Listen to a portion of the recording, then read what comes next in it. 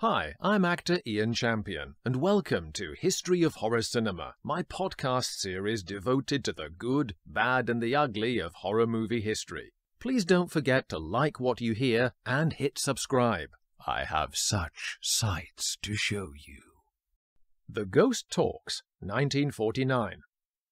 In May 1946, Curly Howard had fallen victim to the most damaging of the strokes that were jeopardizing his health and ability to work as part of the Three Stooges. A hectic partying lifestyle and the stress of a failed marriage the previous October that lasted just three months had both contributed to his decline, and this last stroke finished him as an active member of the group. This forced Moe into asking his older brother Shemp to return and take Curly's place, something he was reluctant to do as his solo career was working well. He realized that without him, Larry and Moe's livelihood would be lost, so he stepped into the breach on the understanding that he would cover temporarily till Curly was better.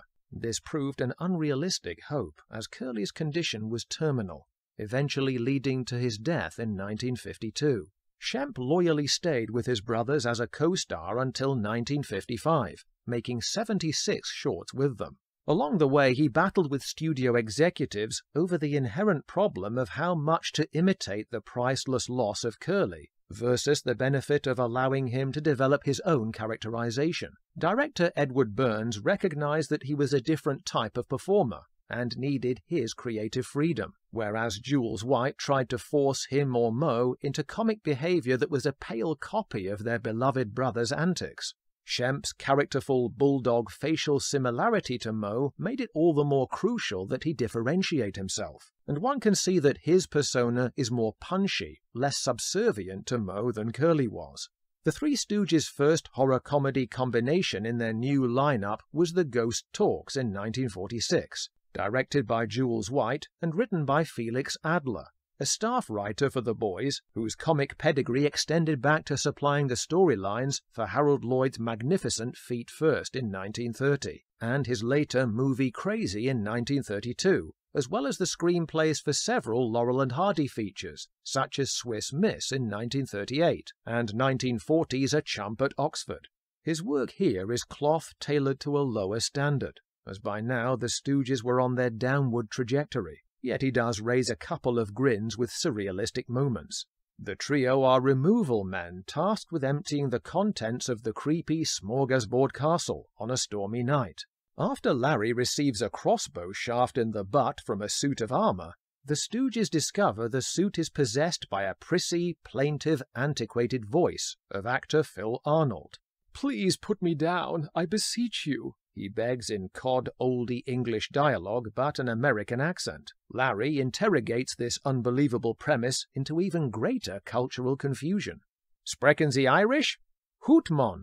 In trying to lower the suit's raised arm, Larry causes it to rumble like a fruit machine before dispensing a flood of coins from its chest. To their even greater surprise, the threesome are told that the suit's occupant is the famous spirit of Peeping Tom, a medieval tailor from the Middle Ages forever immortalized in the legend of Lady Godiva, who rode through Coventry dressed in nothing but her long hair, in return for her husband, the Earl of Mercia, abolishing the crippling taxes upon his people.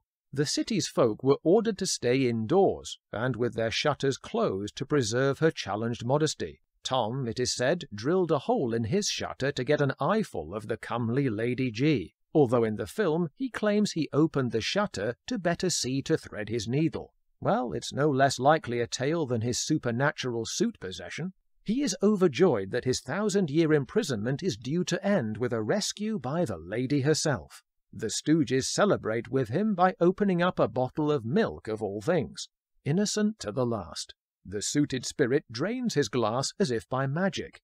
He dampens the revels somewhat by warning the boys that removing him will have dire consequences. Naturally, they ignore all advice, even if from a reputable source, triggering odd events such as a mischievous frog scurrying through Shemp's pajamas and a sassy floating skeleton that cues in a Hollywood period in joke when he introduces himself as Red, voiced by Jules White.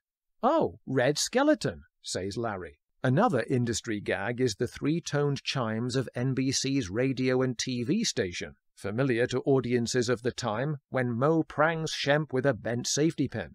The levitating levity isn't quite enough to calm the team's rising fears as they find the front door is locked. What we need is a harder head, observes Shemp, and manfully volunteers to be used as a human battering ram. The perambulating skull on clockwork feet that we saw in If a Body Meets a Body in 1945 makes a fleeting and flying return guest appearance, with its bat wings terrorizing the trio for good measure just before the entrance of the legendary Lady Godiva as foretold. The beautiful Nancy Saunders, still with us and aged 91 as of the time I first wrote this, rides in on horseback in a bored manner, which, intentional or not, does amusingly undercut any bid for a big reveal moment and whisks away the haunted suit. The Ghost Talks does what it says in the tin suit. Slap happy rather than slapstick, and cheekily had much of its footage heavily recycled for their 1956 short Creeps, as we shall see later. Thanks for listening, and if you like what you've just heard, don't forget to click so, and please hit subscribe. If you build it, they will come.